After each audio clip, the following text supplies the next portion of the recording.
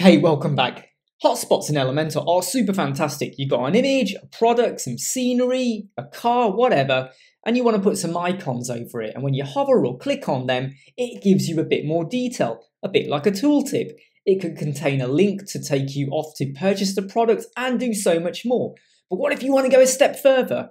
Now, when you click on the hover, you want it to reveal a particular tab in an accordion.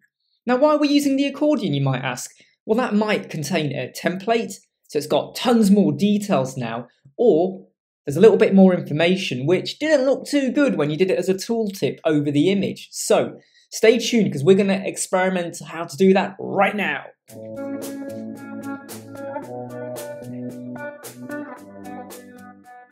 Where did the code come from? I hear you asking. It came from Maxime from Element.how. He is an amazing coder and elementarist.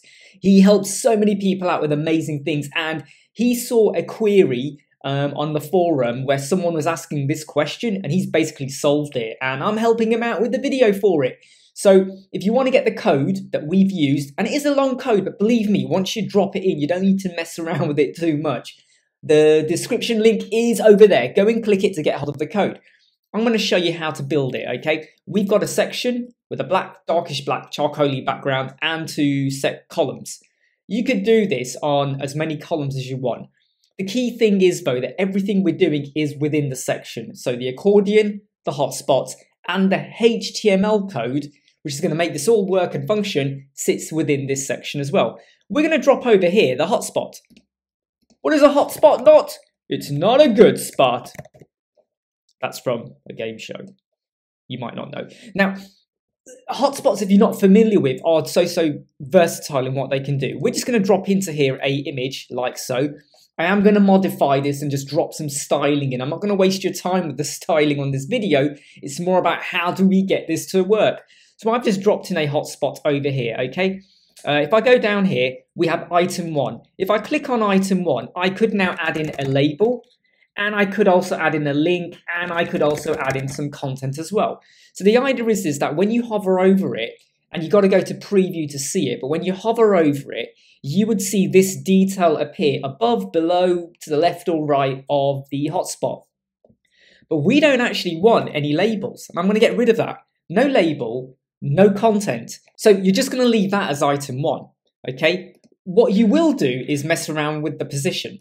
So you'll go to position, and you will maybe maneuver this around and you'll go like up and down and put it wherever you want. So we might decide, okay, we're going to have our first hotspot over here. And of course, you would then stylize it. You don't have different icons for different things unless you really, really have to. But obviously, go down here uh, to, sorry, let me show you that again. Go to the hotspot, go down here to where it says icon, and then go and pick your icon. So if I was to pick a circle, I might go for something like this for instance. And then I'm going to go to style, I'm going to go to hotspot, and I'm going to change the color. And you will obviously style it, you know, with your padding, your border radius, all of these things. Okay, do what you want with it.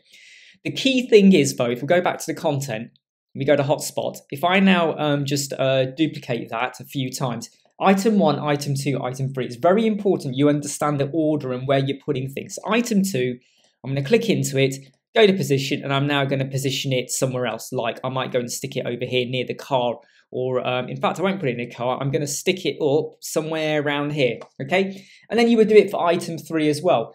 It's very important you do that.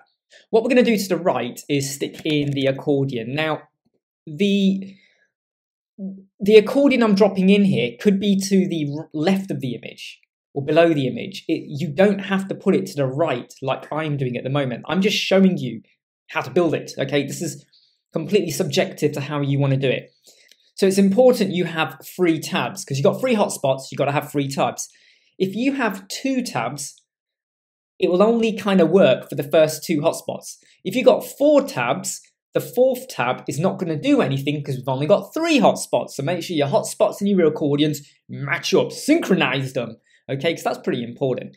And what you would then do in here is basically you would just now modify your text. You modify your title, you modify your text, you basically modify all of it the way you would. And you don't even have to have text in here. Remember, you could drop in, oops, sorry, you could drop into here some shortcode. So create a template somewhere in Elementor and then drop the shortcode in here. That works absolutely fine as well. The third key component is the HTML code. I'm just going to drop that in over here.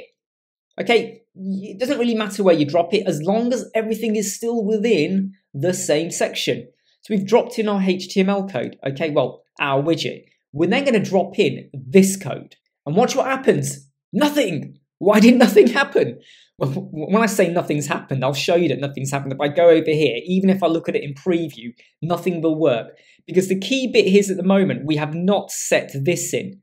So where it says HSACC design, you need to copy that, go over to your section, not your column, not your hotspot, not your accordion, okay, the section. Go to advanced, and where it says CSS class, just drop in HS hyphen ACC hyphen design. If you want to change it, fine. Just make sure you change it in the HTML code as well. So here's the preview page, um, and I have stylized it. So I've now uh, made the circle when it's active be an orange color. Um, I've also got black colors for when it's inactive, and I've removed the border around the accordion, and I've given it a particular range of colors in how it works. One thing I will mention, though, is before I do the quick preview, is if you go back to the HTML, down here in the code, you will see the elements over here. So this is now saying, what do you want to happen when it is active? So at the moment, when it's inactive, the hotspots are black with a um, with a plus sign in white.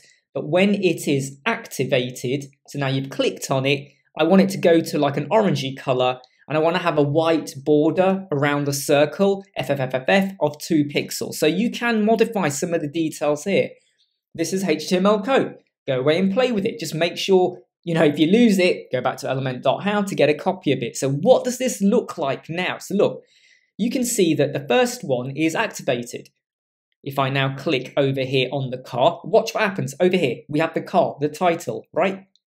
Look at that. The accordion moved. Well, not moved, it activated and the tab becomes clear. Let's go over to the shops. Let's go over to the tours. Let's go over to the restaurant. Do you see how versatile and amazing this is? So you've got your hotspot over here, you do your positioning and your styling and whatever. You do your accordion, again, you do your styling, make it look good to how you want it to look. You put the HTML in, into the section, you make sure you got the class name in. I mean, this is brilliant. I mean, yes, you can do this as well, right? And it's not going to activate anything over here. So you might go, well, you know, why not? But take it for what it is. This is an amazing code, right? Can you imagine if you've got a hotspot, like, I don't know, 10 of these, maybe, not 10, maybe overkill. You've got four of them on a um, uh, some architecture or a landscape or a shop or whatever. This is so versatile. This is brilliant. Hats off to Maxime, element.how. I hope you like, subscribe, share, and follow. Jump over and get the code for free and go away and play with it and feel happy in your life because I'm happy right now. You take care.